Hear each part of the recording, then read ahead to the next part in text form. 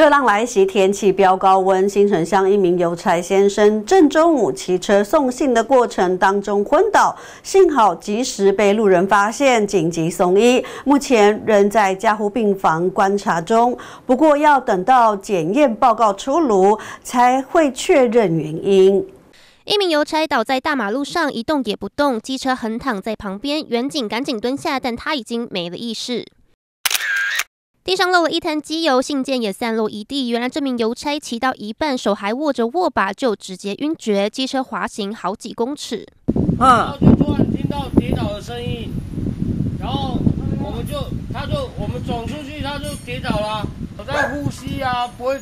没有意识啊！工人施工到一半，听到声音，发现有人倒在路边，吓得赶紧报案。事情发生在二十六号中午十二点，花莲县一名五十四岁的邮差，疑似因为顶着大太阳送信，高温难耐，让他当场晕厥。有伤口没有反应？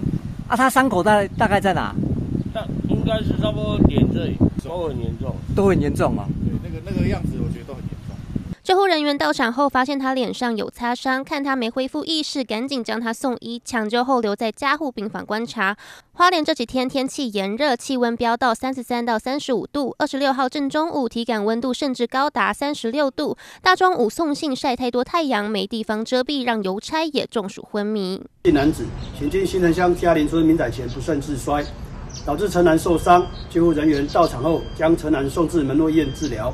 至于肇事原因，尚待警方调查厘清。花莲高温频频传出中暑消息，连邮差也难逃一劫。未来一周体感温度会飙到三十八度，提醒民众前往花莲一定要小心身体状况。记者周长云、徐立晴花莲报道。